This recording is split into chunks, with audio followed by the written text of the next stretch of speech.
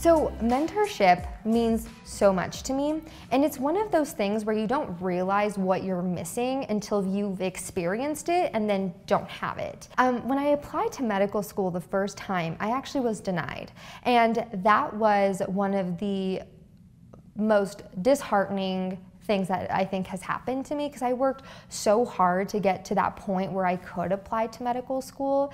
And when I first got the email and it told me that I wasn't accepted, I scrolled down to the bottom and it said, hey, if you want feedback on how you can improve your application, you can schedule an appointment with one of our physicians. And I was like, absolutely, yes. I feel like I need guidance. That mentorship is really what I was missing. And I was so grateful that UNR Med was able and willing to provide that for me. So I scheduled um, an appointment, and that was in January. And in March is when I got the call from Dr. Torres. And I wasn't really sure what to expect. I was just grateful that someone is taking the time out of their day to sit down and kind of discuss my applications, the strengths and the weaknesses.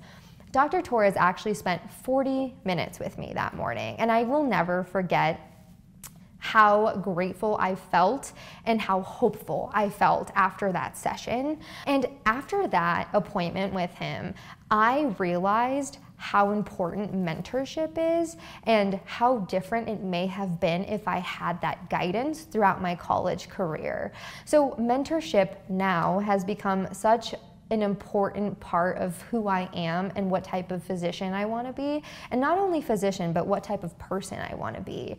So, paying forward this mentorship has been a really important thing for me. Um, I think very early on in my college career, I realized that it felt like a very lonely process. Um, I was the first one in my entire family to go to college, let alone graduate from college. Um, so when I was down in, in Las Vegas, I actually um, mentored um, a young lady uh, through Core Academy. Um, and that was a mentorship for low socioeconomic high school students that um, statistically would not be going to higher education like college. And I got paired with um, a young woman who actually was very interested in nursing. And she actually wanted to go to the same college that I went to, Nevada State College in Henderson. Um, so we got paired together, and throughout her, you know, three years with me, we kind of helped develop her application. I helped her apply with FAFSA, and she actually got accepted to um, Nevada State in Henderson, Nevada. Um, and, and, you know, she, she's thriving there. And that just makes me feel so amazing to be able to pay something forward